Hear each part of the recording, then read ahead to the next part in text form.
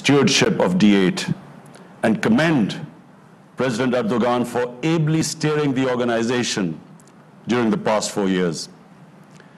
It is a pleasure for me to share my perspective on the summit's focus on building partnerships to harness the power of youth and te technology in a transformative world.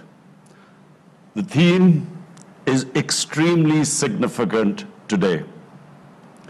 Excellencies, our world today is at a defining moment because of the interconnectedness and the economic, social, and environmental vulnerabilities created by this interconnectedness.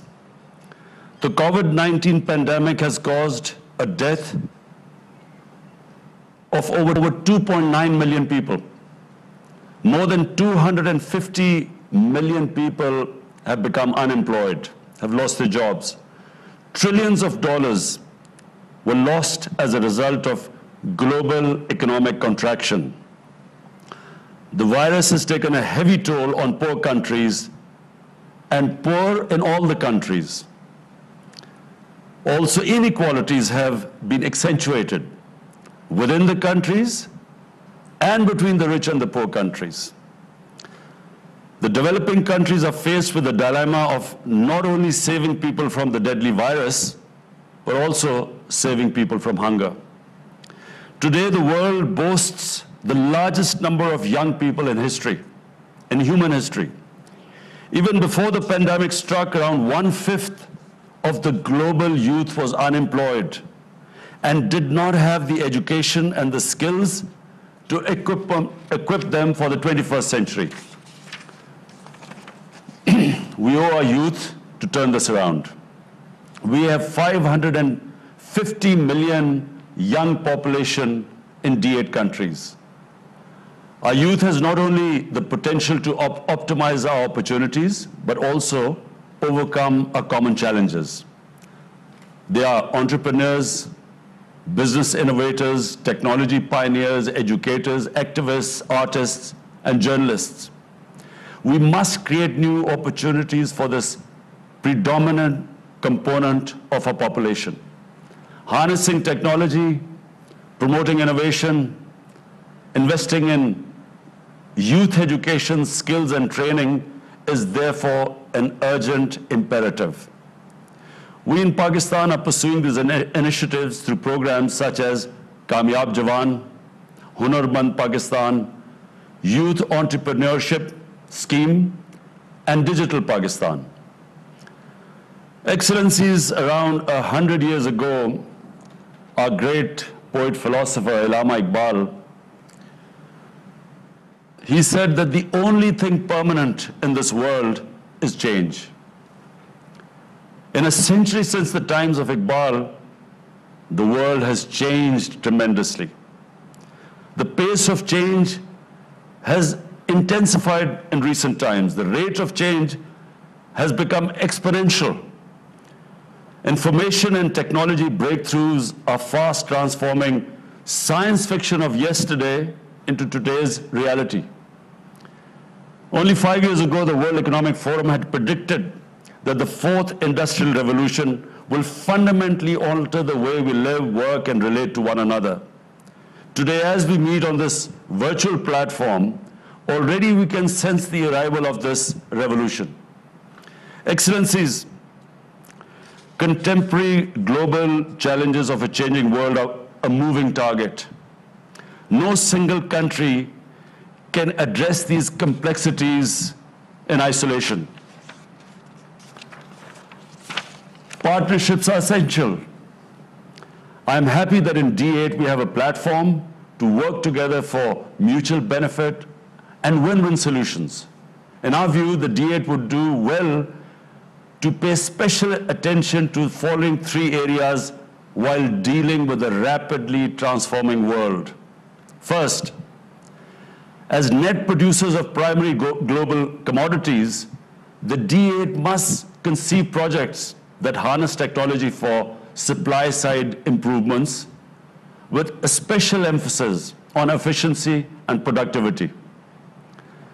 With cost of trans uh, transportation and communications improving due to innovations, the D8 members must partner to keep pace with the logistics and global supply chains. Secondly, the D8 should brainstorm ideas to insulate its members from disruptions in labor markets due to technology and innovations. As automation substitutes for labor across the world, the labor-intensive economies of D8 face challenges of unemployment and social disruption.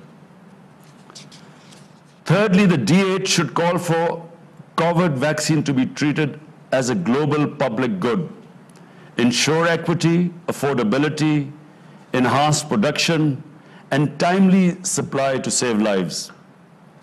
We must push back against vaccine nationalism and undue export restrictions. The global vaccine manufacturing companies must either speed up production or share their technology and expertise with developing countries for adequate vaccine supply. Excellencies, 23 years ago, a shared vision motivated our countries to establish D8 to improve member states' position in global economy, diversify and create new, new opportunities in trade relations, enhance participation in decision making at international level, and improve living standards. Today, D8, D8 is a grouping of over 1 billion people, a grouping of over 1 billion people with a combined GDP of $4 trillion. We possess two essential prerequisites for growth resources and enterprising people. As part of our endeavors to realize the vision of D8 in these testing times, I propose the following five pronged roadmap. One, we must mobilize financing and resources to recover robustly from the economic and health crisis induced by COVID pandemic. To address the, the, the unique economic and financial challenges faced by developing countries as a result of the pandemic, I have already suggested a five-point plan. This includes debt relief, creation and redistribution of special drawing rights, mobilization of climate finance, and especially uh, for the D8 leadership, eliminating illicit financial flows and return of stolen assets to developing countries. It was in this context that I called for a global initiative on debt relief last April. I invite the D8 members to consider this five points and join in advocacy for COVID-related relief measures. Two, we must take concrete actions to achieve the target of expanding intra-D8 trade from currently around 100 billion to 500 billion dollars by 2030. It should include measures like simpli simplification of border procedures, enhancing institutional linkages, and operationalizing new initiatives. We welcome ideas like the D D8 payment card, which would enable transactions in local currency, what President Erdogan was referring to. Three, the D8 should develop a youth engagement strategy focused on promoting cultural, educational, scientific, and business exchanges. Linkage, linkages should be established between educational institutions like scholarships, skill development, trainings, fellowships, joint research, and exchange programs for the youth, particularly in the field of science and technology. Four, technological development is a gateway to economic prosperity, particularly in the post-pandemic period when reliance on technology would be greater than ever before in human history. To remain competitive, we must promote knowledge-based economies, increase expenditure on research and development, and focus on rapid digitalization.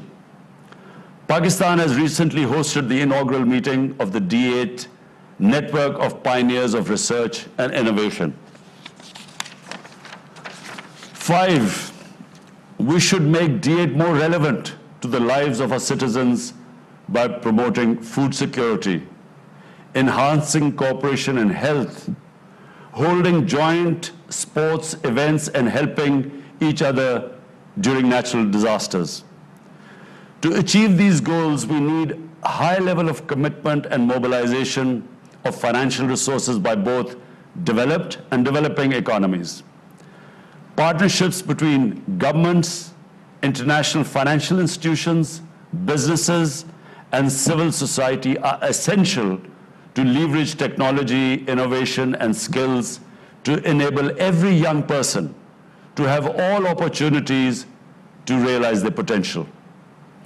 I'm confident that our collective wisdom and commitment will bring a new vigor to D8. I wish you all a blessed Ramzan and I thank you.